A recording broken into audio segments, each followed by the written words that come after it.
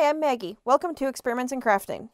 Uh, today I've got a finished corner to corner blanket here, and I am going to be putting a crab stitch border around the edge. Crab stitch is also known as reverse single crochet, um, and that is because it is worked just like a single crochet, but instead of working from right to left, you are going to be working from left to right. Um, this is just my finished uh, blanket here, and it doesn't have any sort of border on it yet. Um, it's a little bit easier, at least in my opinion, to crab stitch into a row of single crochets or into a row of double crochets. And so I have some double crochet edges here, but then I have these chain threes. Um, and so what I'm going to do is I'm going to go ahead and put a single crochet border all the way around my blanket, and then I'm going to start crab stitching.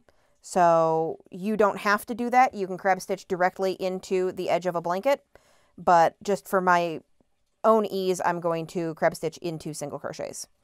So I'm going to do that.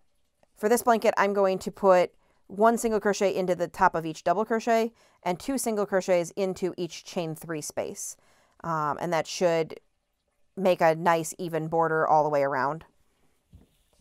So I'm going to do that and I will come back when I'm ready to start crab stitching. All right, so I've got my single crochet border all done. Um, on the sides where you're working into the bottom of stitches, um, there is a little loop that you can just stick your single crochets into. And this is part of the reason that I like to do a single crochet border first because the crab stitch is a little bit tricky and this gives a nice base to work into rather than trying to work into loops and into chains and all sorts of craziness. Now I have a nice uniform uh, single crochet border with all the tops of the stitches uh, that are nice and easy to work into.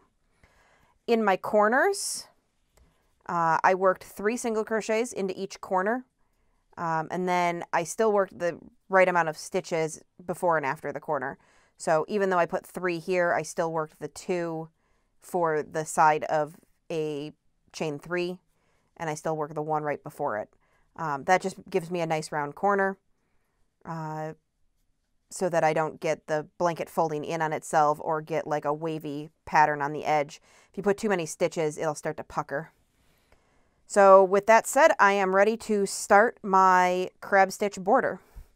So I'm just going to start right here. I'm going to start with a stitch after the corner just because it uh, it'll be e a little bit easier.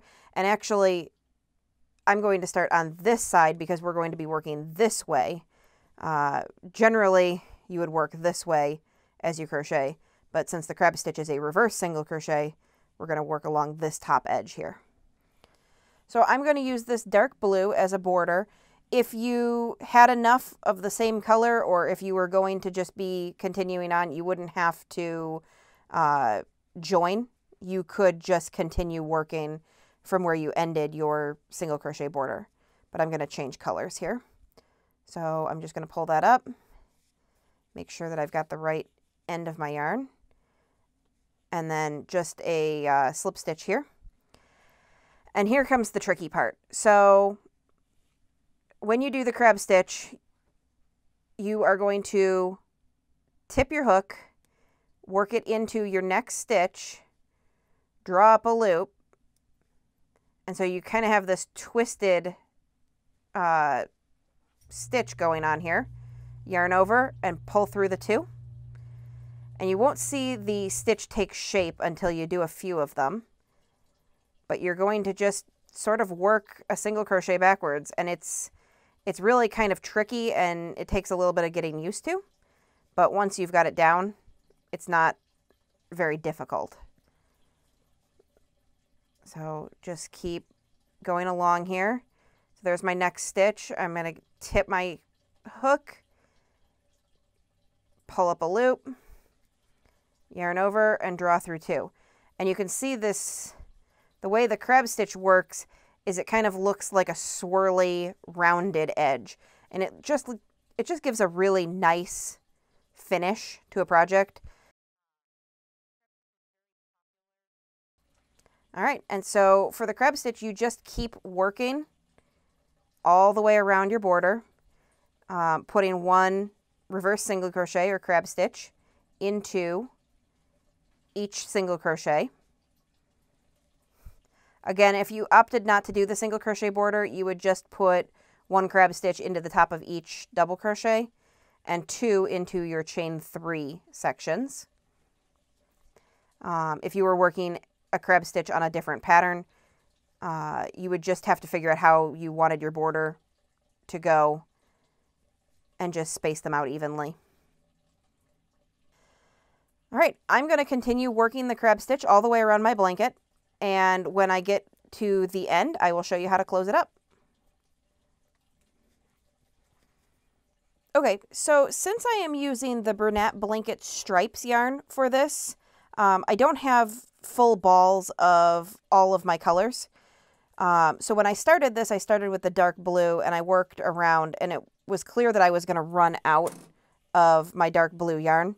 So I switched colors. Um, so I have one side in dark blue, then light blue, then back to dark blue, and now a light blue row.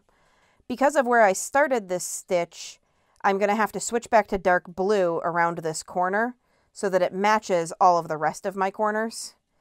Um, and then I will join. So I'm actually only going to be switching for about three stitches or so, and then I will join. But I just thought I would show you how to do the color change real quick with the crab stitch. So I'm ready to make my next stitch, and I want to do the color change with this stitch. So I'm going to insert my hook,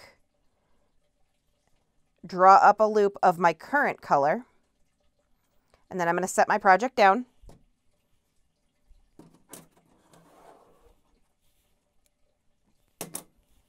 I am going to grab my dark blue yarn, make a slip knot, and now instead of yarning over and uh, picking up another loop to make a single or to make the crab stitch, um, I am going to put my slip knot on there, tighten it up, and draw it through to make the crab stitch. And then I make sure that I'm working with the correct color yarn and that I don't have the tail, that I've got the working end. And I just continue working with the dark blue. And so I'm just going to make these last two stitches. All right, so I've made my last few stitches. The color changes right here around the corner where I wanted it to. I'm going to make my final crab stitch. And now I'm ready to join to this. And you can try and pick that stitch up backwards um, and do this join like that. I think it's a little bit easier to turn your work around and do this from the wrong side of the crab stitch, but the right side as if you were working regular single crochets and pick your stitch up from this side um, and then just slip stitch like you would normally. And then I always chain one to finish my project. I snip my yarn and then just pull it all the way through and tighten it up. When I sew this end in, you've got a little bit of a gap because I turned that project around. I'm just going to sew in this direction and close that this little gap right here, right up. For the color change, um, I will go back and actually I need to snip my yarn here. For the color change, I will go back and tie these ends together. Um, just in a little knot. You don't have to do that, but I just, I like my ends to be nice and secure. Um, and then just sew all of your ends in. So there's the crab stitch border. You can see the color change in between. And again, I've just got that little gap that I'm going to close up when I sew it up. So I am going to sew all my ends in and I will show you uh, the very final product in just a second. All right, and so now all my ends are sewn in. You can see all my corners are uh, nice and clean. I've sewn all my ends in so that the uh, they won't come undone when it's washed and dried.